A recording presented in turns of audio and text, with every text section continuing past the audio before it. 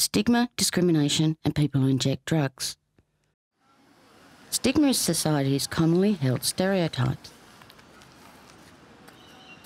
When it comes to people who inject drugs, we are labelled junkies who may be aggressive or untrustworthy.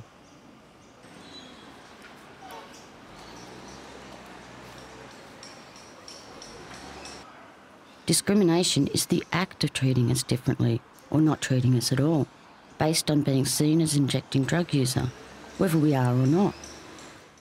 A few years ago, a friend of mine had a dirty hit, so I decided to take it to the hospital. When we got there and told the staff what was going on, um, they were very reluctant to help us. In fact, they didn't give us any help, and they left us sitting there for hours. In the end, we left, went home, and she had to get over it by herself. And I would not go back to that hospital again. A while ago, I went into the chemist to buy a fit pack. I knew exactly how much money I had. I had 10 bucks. When I paid for the fit pack, the guy gave me change for a $5 note. I said, Excuse me, I gave you a 10. He turned around to me and said, Why should I believe you? Look what you've just bought. If you want to come back tonight, I'll check the till. If I'm over, I'll give you your change then. I couldn't believe his attitude. I mean, it's hard enough going into the chemist asking for a fit pack. You feel pretty small. I argued with him and I got my change, but I never went back there again to buy fit packs. Recently, uh, a friend and I went to a rather large hospital. He was suffering really badly and in agony with back pain. And uh, the doctors and nurses were all very friendly until they found out that he was actually a drug user. And their attitude to us changed instantly. They treated us like scum.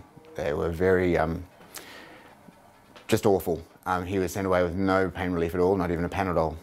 I would never go back to that hospital again. Hello, could I help you? Oh, yes, please. I hope so. Um, can I get a fit pack, please? Um, sure, just, um, can I ask, are you diabetic? No, I'm not. Uh, uh, no, I'm sorry, we don't do those here. We only do diabetic syringes. What? Yes, I'm afraid so. Ah,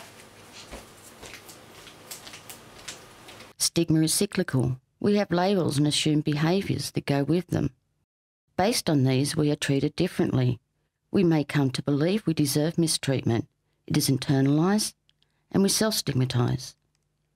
I'd always got along really well with my family, very close in fact. My brother and two sisters and I were very close in age.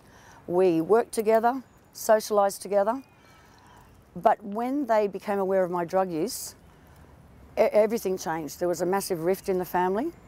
I have not been to a Christmas, New Year, anniversary, graduation for many years, and I was instructed to stay away from my nieces and nephews. You can imagine how difficult that was. Um, I felt alienated, ashamed, humiliated, a pariah. Um, I look forward to it maybe one day being resolved.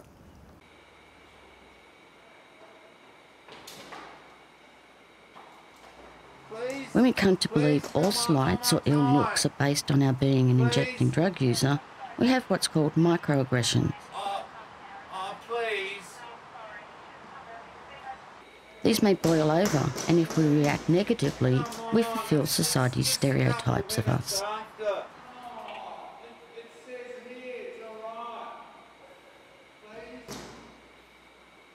Lateral violence occurs when marginalised groups feel powerless. We push these feelings sideways and we compare ourselves to others. Lateral violence is prevalent in the drug using community as in other groups. I've heard uh, heroin users describing ice users as scattered, aggressive. Ice users describe heroin users as junkies. When it comes to uh, the way you use it, the smokers will suggest that they um, are above the injectors because they haven't hit rock bottom. The injectors feel that the smokers are Clayton's users because they're not getting the most out of their product.